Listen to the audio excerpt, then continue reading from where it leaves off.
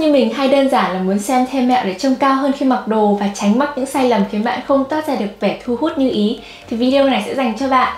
Bạn không cần quá hiểu về thời trang và mình sẽ đưa ra những gợi ý đơn giản, basic nhất bạn có thể xử lý tại nhà cùng với những hình ảnh thực tế.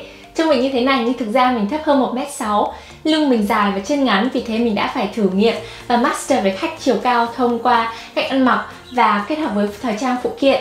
Dưới đây là toàn bộ tip mình đã thử và thấy thực sự hiệu quả, cực dễ làm mà lại không đòi hỏi quần áo đồ hiệu mà sẽ vận dụng những thứ bạn đã có sẵn ở nhà hoặc là nên có trong tủ quần áo của bạn. Mình tin là mỗi chúng ta đều là cá thể rất đặc biệt không ai giống ai từ style quần áo, màu sắc, pattern yêu thích nó đều khác nhau. Vì vậy khi mà xem video này bạn hãy chọn tip nào thấy phù hợp và kết hợp thêm với gu ăn mặc của bạn nha. Đây sẽ là phần thứ nhất trong series làm thế nào để mặc đồ khiến bạn trông cao hơn. Mình sẽ nói về những cái điều chúng ta nên làm. Phần thứ hai sẽ là những điều chúng ta nên tránh. Vì vậy mọi người hãy nhấn theo dõi để không bỏ lỡ những phần sau nha. Tip thứ nhất chọn họa tiết kẻ sọc. Với kẻ sọc thì bạn có thể chọn áo kẻ sọc quần kẻ sọc hay là cả bộ kẻ sọc hay là kẻ sọc nửa nọ nửa kia. Nếu như bạn sợ nó hơi bị ngọt hãy chọn họa tiết kẻ sọc đúng. Những cái đường mà nó sọc mảnh thôi mật độ dày và khoảng cách giữa các đường sọc nhỏ để trông nó nhỏ hơn và thanh thoát cơ thể hơn.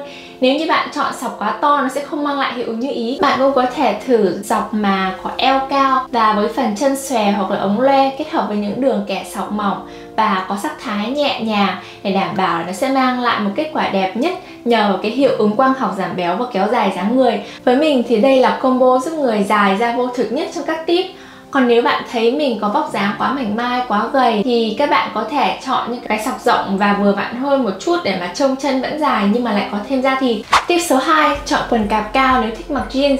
Mặc cạp cao sẽ giúp cho mắt khi nhìn vào thấy hông bắt đầu từ trên cao xuống dưới ground bất kể là hông bạn có bắt đầu từ đâu vậy nên đây là một mẹo rất hữu ích tuy nhiên đối với mình thì mình có đùi to à, và khi mà mặc quần bò thân hình quả lê của mình nó không được tôn lên dáng vậy nên mình loại hẳn cái này khỏi tủ quần áo của mình. Tip thứ ba là mặc một màu. Mặc trang phục một màu từ đầu đến chân là cách dễ dàng nhất để trông cao hơn. Khi mà mặc màu đen thì nó sẽ khiến bạn trông gầy hơn thon hơn và cao hơn. Nó tạo ra một đường liên tục không bị gián đoạn kéo dài hình dáng của bạn ra. Vì vậy mọi người hãy play và kết hợp thử với các màu sắc và sắc thái khác nhau, kết hợp trong cùng một cái nhóm màu để giữ cho mọi thứ trở nên thú vị hơn. Chứ không chỉ nhất thiết là stick với màu trắng, màu đen nha. Mọi người hãy thử những cái màu táo bạo hơn như là màu vàng, xanh, hồng, vân vân để xem là cái nào nó sẽ phù hợp với size của bạn nhất. Nếu mặc theo kiểu trên dưới thì hãy chọn một màu cho phần trên và phần dưới của bạn trong cùng một cột màu là được. Không nhất thiết là cần phải màu sắc y chang nhau không cần nhất thiết là kiểu trắng trắng mà có thể là trắng và be chẳng hạn. Tip số 4 chọn quần dài hơn mắt cá chân. Nếu bạn chọn quần jeans hay chất liệu cứng thì khi mà đi giày hoặc là cao gót thì khả năng cao là phần phía trước, ở ngay chỗ mũi giày, quần của chúng ta sẽ bị gập lại và nó sẽ làm xấu tới cái hiệu ứng mà ta muốn tạo ra. Vậy nên các bạn hãy thử quần dài ống suông rộng và kiểu chất liệu mềm mại như thế này nha. Hoặc thứ hai cần lưu ý ở đây đó là bạn phải chọn giày cùng màu quần thì một là cái quần đó sẽ che luôn đi đôi giày khiến cho không ai biết được là bạn đang đi cao gót và hách chiều cao bao nhiêu phân. Hai là nó sẽ tạo ra một tổng thể rất hài hòa, linh hoạt, tinh tế. Tip số 5 chọn quần jean, quần bò ngắn trên, cổ chân hay là mắt cá chân mình thêm tip này vào đây là dành cho những bạn nào mà không quen mặc ống suông hay là ống quá dài và thích kiểu tự tin, năng động, trẻ trung và lại còn phù hợp vào những cái ngày mà mà nắng nóng.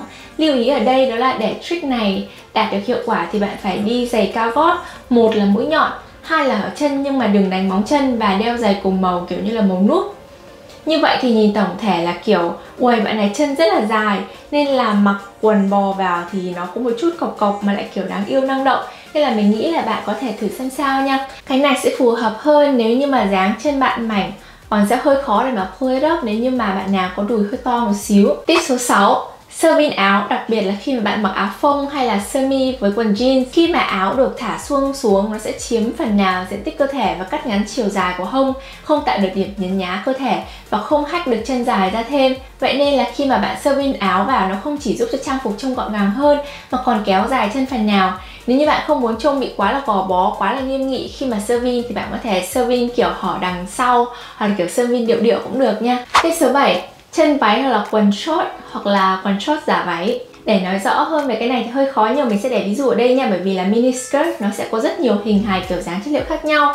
Với mình, nếu như mà mình mặc chân váy khác màu áo trên, kể cả là nó có họa tiết kẻ sọc đi chăng nữa, hay là kiểu xếp ly rất là phổ biến này và dáng hơi xòe ra thì dù mình mặc thế nào cũng khiến cho chân mình trông rất là ngắn bởi vì là như mình có đề cập trên đó là mình có đùi to. Vậy nên là mình hay chọn chân váy liền với áo và chất liệu kiểu lụa lụa mỏng mỏng. Có nghĩa là nó sẽ có không gian thở ở phía dưới Thay vì là một bộ đồ ôm sát vào chân. Chân mình vốn đã dày sẵn rồi nên là nó sẽ càng bó và làm lộ to đùi. Trong khi cái còn lại thì khiến cho chân mình sẽ thẳng và nhỏ đi nhiều. Vậy nên là các bạn hãy chọn cái, cái độ dài mà trên hẳn đầu gối một chút Và cùng tông với áo. Ok nhất nếu là cái chân váy nó có dáng loe ra một xíu, Một tip nữa là các bạn nên đi cao gót một nút. Tip số 8 là mặc váy hoặc là đầm midi có xẻ dọc cao. Chỉ lộ một chút da thôi nhưng mà không quá là táo bạo hở hang. Khi mà bạn di chuyển thì chân nó sẽ lộ ra một chút xíu và nó sẽ tạo cảm giác chân miên man vì nó có một điểm nhấn là một đường thẳng thì phần trên bạn có thể thử mặc cùng một chiếc crop top áo yếm sơ mi nếu như mà trông muốn chững chạc hơn chẳng hạn. Và không quên trang bị thêm những phụ kiện như là túi sách tay, kính dâm và một đôi giày cao gót để tạo điểm nhấn cho trang phục nữa nha. Nếu bạn là cô nàng có đôi chân dài và đẹp thon gọn thì các bạn hãy cứ thoải mái chọn một chiếc midi à, xẻ tà thật là cao nha. Miễn là không quá cao mà gây phản cảm mà được. Tuy nhiên ngược lại nếu chân bạn có phần hơi thô to thì hãy chọn những chiếc midi xẻ tà khiêm tốn một xíu, mặc lên nó vẫn xinh đẹp và nó có thể lộ ra một chút bắp chân và khuyết điểm của bạn sẽ không bị lộ ra quá là rõ ràng thì lại khiến bạn càng quyến rũ thêm bội phần Tip số 9 là hãy chọn váy hay là áo có cổ chữ V rất là phù hợp để tạo ảo giác về chiều cao. Chúng kéo mắt nhìn xuống khiến thân hình của bạn trông dài hơn. Ngoài ra, cổ chữ V cực kỳ tôn dáng cho hầu hết các hình dáng cơ thể. Đây là win-win situation. Hãy nhớ rằng chữ V càng sâu thì bạn trông sẽ càng cao nếu mà bạn không muốn quá sexy thì hãy đeo thêm vòng cổ kiểu hai ba tầng để che lại một xíu cái khu vực này mà trông vẫn sang trọng nha Tip số 10 nếu như bạn chọn mặc quần đơn giản như kiểu là quần jeans, quần bò thì hãy tạo điểm nhấn là áo ở phần trên đặc biệt là hãy để lộ cổ và xương quai xanh bằng cách mặc những chiếc áo kiểu như thế này thì nó sẽ khiến cho bạn đặc biệt thêm duyên dáng, quyến rũ, thu hút và với những phụ kiện thích hợp thì nó sẽ khiến cho mọi ánh nhìn đổ về nửa thân trên thay vì tập trung vào phần dưới và đôi chân ngắn ở phía dưới. Tip số 11 đó là thực ra tưởng chừng đơn giản nhưng mà có nhiều điều rất là cần lưu ý khi mà chúng ta nhắc tới giày cao gót. Ok, trước khi mà bạn nào comment nói là cái mục này nó hơi vô tri thì hãy nghe mình giải thích thêm nha. Đúng là nhiều trường hợp, đặc biệt khi là đi chơi, hẹn hò event thì khi mà đi cao gót nó sẽ giúp bạn cao thêm. Nhưng mình hiểu là chuyện đi cao gót không phải lúc nào cũng tiện. Vậy nên là dù không cao gót hay là gót thấp hay là không có gót luôn ấy, nhưng mà mũi giày các bạn nhất định phải chọn mũi nhọn. Lý do đó là nó sẽ khiến cho chân chúng ta thoạt nhìn qua dường như là không có điểm dừng khi ở mắt đối phương nhìn nhanh thoáng qua cái việc mũi nhọn đó nó sẽ khiến cho mắt đi thẳng tới sàn. Và điều này vô tình chung khiến cho người đối diện cảm nhận như là chúng ta là một người khá là cao. Bạn sẽ không thấy được cái điểm này nếu như bạn chọn giày mũi vuông, mũi tròn hay là hở ngón. Tip số 12 Chọn giày cao gót trùng với màu da, màu nút. Ví dụ như nếu như bạn mặc váy có độ dài như thế này thì làn da chân sẽ lộ ra thì bạn hãy chọn cái giày có đồng màu với da. Nó sẽ tạo cảm giác như là chân bạn dài thêm chứ không phải là bạn đang cố gồng mình trong giày cao gót. Những cái đôi giày màu da phù hợp với màu da của bạn là người thân nhất của những cô gái nhỏ nhắn chúng mình. Chúng sẽ tạo ra ảo giác về một đường thẳng không đứt đoạn khiến cho đôi chân của chúng ta trông dài hơn. Ngoài ra, bonus ở đây là cái giày màu da này có thể kết hợp với hầu hết mọi thứ trong tủ quần áo của bạn. Nếu như là bạn mặc quần trắng hay là quần đen hay là một cái màu sắc gì đó khác biệt thì hãy chọn giày có cùng với tông màu đó. Không nhất thiết là phải y xì trắng đen xanh nhưng mà nó kiểu như là thuộc họ hàng là ok bởi vì nó sẽ tạo ra một cái đường thẳng dài từ hông khi bạn mặc quần cho tới à, cái mũi chân của bạn. Vì vậy khi mà người ngoài nhìn vào họ sẽ khó thể phát hiện là bạn đang đi giày cao gót để mà hách chiều cao.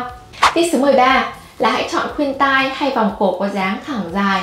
Hãy chọn những cái phụ kiện mà giúp tạo một đường thẳng đứng chẳng hạn như là dây chuyền dài hoặc là khuyên tai thả chúng sẽ thu hút sự chú ý từ trên xuống dưới giúp bạn tăng chiều cao như mong muốn. Và khi đó thì hãy cố gắng tránh những cái vòng cổ kiểu vòng cổ ngắn bởi vì là nó có thể khiến cho cổ bạn trông ngắn hơn và mập hơn. Cũng hay tránh những khuyên tai à, dày và kiểu vòng to tròn nó sẽ khiến cho chúng ta mập ra và hơi thô một xíu.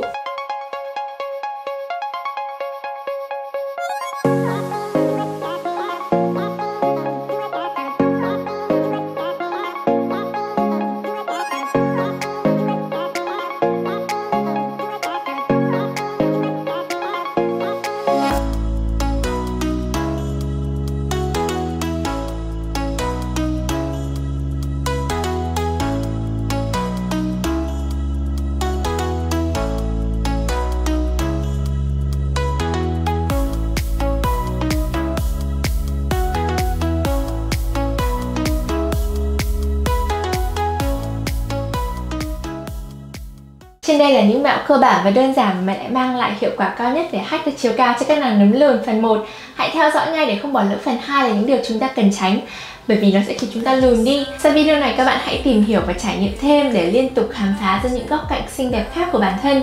Và tập dần làm quen với việc layering, phối đồ, phối trang phục cùng với những phụ kiện bạn đã có sẵn để cho không những quần áo nó sẽ giúp cho bạn trở nên thu hút quyến rũ tự tin hơn và bạn sẽ không bao giờ phải lo nghĩ về việc không có gì để mặc khi mà bạn cần đi ra ngoài có sự kiện gì nha khi mà trang phục điều quan trọng nhất là phong thái tự tin cảm thấy xinh đẹp khi bạn diện nó với một nụ cười tự tin ngọt ngào thì chân ngắn hay không cũng không thể cản trở chúng ta kết nối hay tạo dáng chụp ảnh Cảm ơn các bạn đã xem tới hết video. Hãy để lại comment, feedback hoặc content bạn muốn xem nhiều hơn nữa trong tương lai để mình có thể chuẩn bị chú đáo thêm.